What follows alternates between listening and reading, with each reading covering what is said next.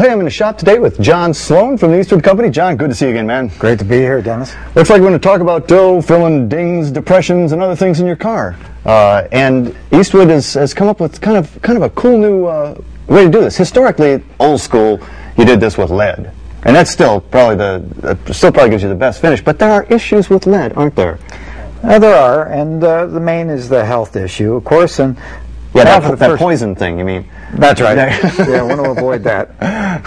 And uh, and so what people are, are, are using a lot is uh, is plastic body fillers, which have different issues. And that can be a problem. Uh, as you can see, I, I did some tests here before uh, we came out today. Uh, and here's a premium plastic body filler that's been applied to this panel. And you can see with just a very slight bend that a crack develops all the way down to the metal. Also, when it's subjected to an impact test, it, all, it completely delaminated in this section. Whereas with the lead free, I can bend that to the same extent without cracks developing. Clearly illustrating the superior flexibility of the lead-free body solder over plastic body filler. Here on the same uh, type of impact test, you can see that there's no delamination holds at up, all. The body holds up a lot better. And the key, if you were if, if you were listening, the key there was what you said was this is a, a metal filler, but it's lead free. You've you've developed right. a lead free body filler. You're lead free solder. That, that's right, uh, and it's uh, actually easier to use than the leaded type body solders. So let's talk about the process of, of, of letting in a, a crease in a, a door or something like that. Uh, first of all, I'm gonna I'm gonna clean metal as I would anytime, get it nice and, and, and clean and down to bare metal, right? Yes, Then I'm gonna brush on a, a, a- solder flux actually.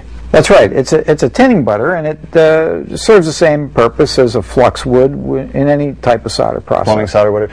So I, I, I put that on, then I, I hit it with a torch to heat that up, cook that. A simple propane torch works fine, and you heat that up until you see it turn slightly silvery, and then you wipe it to help spread it across uh, the area that you want to make the repair on. Now the, uh, the area is ready to accept the lead-free solder. So I use the same torch, and I'm going to go and I'm going to heat the, the metal and, and the, the solder at the same time, pretty much, and, and just kind of tack this on there, right, and build it up.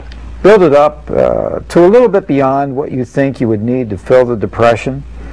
And then I'm going to tamp that down with these, these, these paddles here, the wooden paddles. The hardwood paddles um, work well. They, they just work to shape that uh, repair a little bit. So I get it down to an approximate shape. Then I'm going to hit it with a file, and you guys have both the, the flat and the half round, as with, with the paddles, flat and half round. And I'm going to bring that down to a pretty nice surface, pretty close again. And then, something I wouldn't do with lead is you can actually grind this. You can grind this smooth, right? That's right. You can use a power sander with the lead-free body solder, and the reason is that it's uh, not toxic. However, there is the particulate hazard. So you still want to have a decent dust mask on and everything. yeah. And if, if you're if you're good, uh, you're done.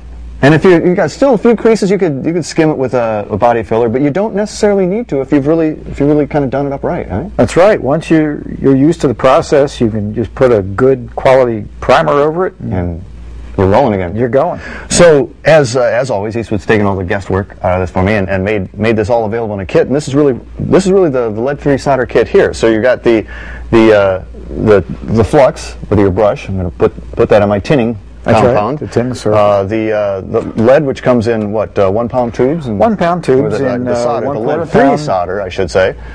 And then your two paddles, half round and, and, and flat. And this is called a solder paste, but it's actually it's kind of a, a lubricant, a paddle lubricant, isn't it? That's right. Uh, the purpose is to prevent the pickup of the body solder on the paddle. And again, our, our, our files here, half round and, and, uh, and flat. And we even throw in a, uh, a DVD on, on kind of how to actually do this by some of the greats in the, in the biz. eh? That's right. The entire process is right there for you. Or if you like, you can visit eastwood.com and uh, see the whole presentation. Right on the website. Yep. And, and voila, you got yourself a lead-free sled. you got it. Better and safer. hey, if you want to learn anything more about this lead-free solder kit from Eastwood, log on to myclassiccar.com. Yeah, I got some dings and dents over there that we might just want to try this whole Let's thing take a look at it. Visit EastwoodGarage.com, the premier website for unique vehicle restoration tools and supplies.